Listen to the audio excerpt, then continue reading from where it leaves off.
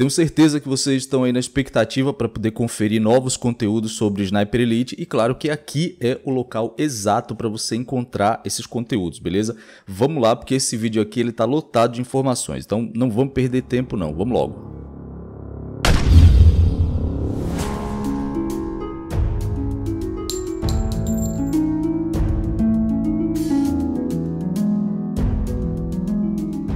Ok, Beleza, guerreiros? Eu sou o William Roth e hoje eu vou falar com vocês aqui sobre Sniper Elite 5. Uh, ah, os desenvolvedores eles finalmente revelaram aí mais novidades sobre o jogo, agora referente às armas e aos novos tipos de personalização que vão estar chegando logo logo aí com o game. Confere o vídeo aí até o fim porque tem bastante informação interessante aqui para você que está querendo jogar Sniper Elite 5.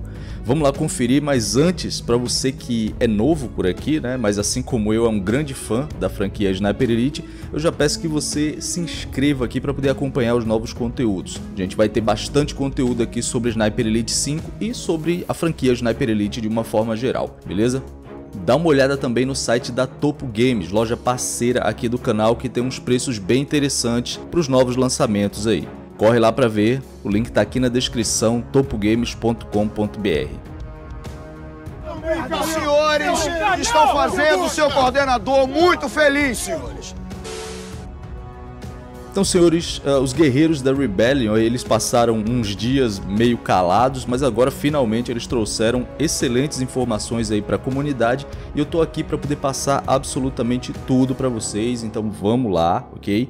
Para quem já joga Sniper Elite sabe que sempre foi uma preocupação enorme da franquia a fidelidade das armas, né? Dá até gosto da gente ver as recriações ali bem autênticas do, dos fuzis clássicos ali do Carcano, do Delili Carbine, a HDM que eu gosto bastante, enfim, realmente eles têm um cuidado especial com a fidelidade dessas armas, além claro da própria balística que é realista, cria ali um ótimo desafio para quem quer realmente se divertir, mas também não quer perder aquele sentimento de imersão naquele mundo. Quem busca por esse tipo de coisa, com certeza vai estar tá se sentindo em casa jogando Sniper Elite.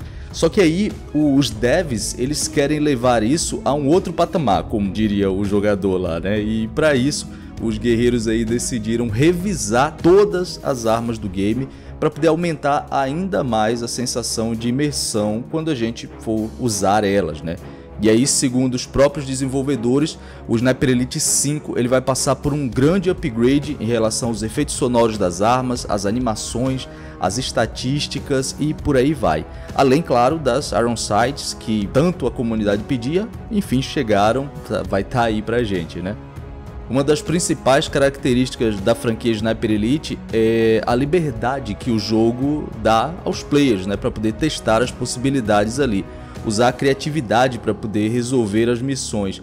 Tem gente que curte mais o stealth, como eu, que curte stealth, a estratégia, o planejamento. Já tem outros que gostam mais de sair atirando, metendo granada para todo lado, testando o reflexo, né, testando a mira. E ainda tem os que tentam ir com calma, com planejamento e tal, até que tudo dá errado e aí o cara parte pro tiroteio mesmo, dá uma mesclada nos estilos aí mas enfim, cada um tem seu estilo e nesse jogo todas essas características elas vão ser ainda mais trabalhadas, né, com mais opções de personalização. A intenção é realmente estimular ainda mais essa diversidade de gameplays que sempre foi um dos focos de Sniper Elite. E aí a nova personalização de armas, ela vai permitir que a gente possa ajustar, fazer realmente um ajuste fino no equipamento para poder obter o melhor rendimento possível no tipo de gameplay que a gente quiser fazer. Muito bom.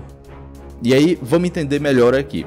Basicamente, em todas as missões, a gente vai ter as workbenches, que vão ser bancadas de aprimoramento de armas, beleza? Só lembrando que essas bancadas, elas vão ficar escondidas nos mapas, elas não vão ficar logo de cara pra gente assim, não, a gente vai ter que localizar elas cada mapa ele vai ser consideravelmente maior que os anteriores, né? E essas bancadas elas vão motivar ainda mais os jogadores a explorarem ali cada canto para poder encontrar cada uma delas. Vão ser três por mapa.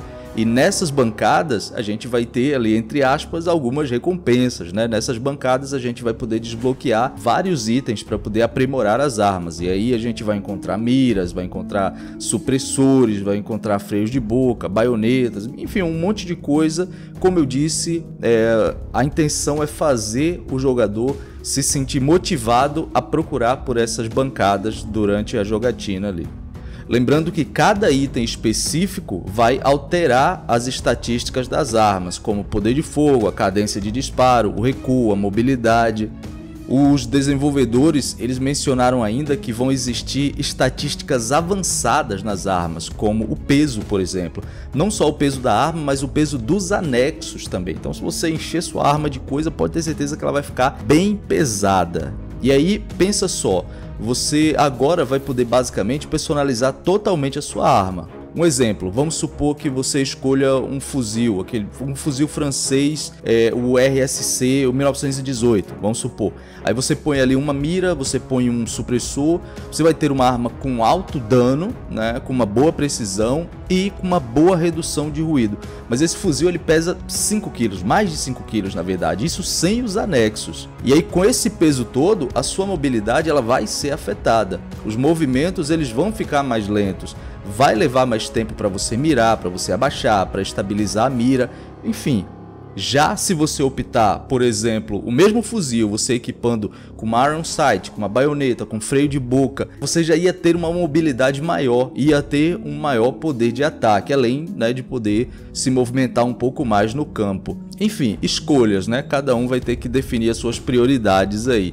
Se o guerreiro ele curte um tiroteio mais pesado e quiser focar nisso, ele pode inclusive escolher um outro fuzil, sei lá, uma M1 Carbine, por exemplo, que tem metade do peso de uma RSC 1918 e vai dar muito mais mobilidade ao personagem dele. Ele vai poder correr muito mais e mais rápido, inclusive, além de ter uma estabilidade melhor de mira. É, de repente, ele pode escolher um magazine menor também para poder manter o peso ainda mais enxuto. Só que aí ele tem que compensar também, porque o fato da M1 ter um cano mais curto, você naturalmente vai ter um recoil maior, um recoil vertical maior maior em relação à RSC. Ou seja, você vai ter que testar, você vai ter que pensar o que é que você quer para o seu jogo e descobrir o que é que é mais efetivo ali no meio. São muitas as possibilidades. E isso é porque eu nem citei aqui as munições especiais, né, que aumentam ainda mais esse leque de personalização. Enfim, com certeza você vai poder montar a sua arma da forma que você bem entender para poder favorecer o seu estilo de jogo. Excelente isso.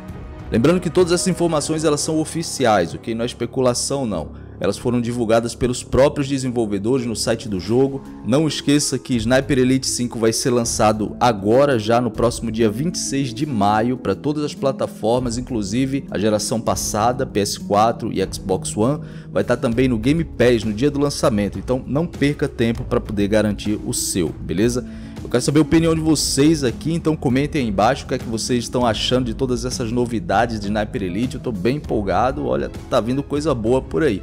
Sigam-me aí nas redes sociais para poder conferir mais conteúdo sobre Sniper Elite com gente que realmente entende, conteúdo de fã para fã, beleza? Se quiser ajudar ainda mais com esse projeto e ganhar vários benefícios aqui no canal, então torne-se um membro. Clica aqui embaixo no botão de seja membro e faça parte da nossa tropa. Forte abraço a todos foco na missão e até a próxima.